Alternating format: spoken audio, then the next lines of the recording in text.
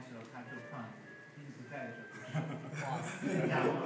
所以他一离开台湾你就思念他就瘦。也不是因为就是因为他毕竟要保持他的身材，然后我通常都要吃一人半的份，因为可能点了两份的话，对，帮他吃，对，帮他吃。而且我是饮食很正常，就是我一定要吃早餐、中餐，然后晚上吃很少，所以就对，然后因为我我本来都是不正常的人。你有觉得你男朋友很爱唱歌吗？如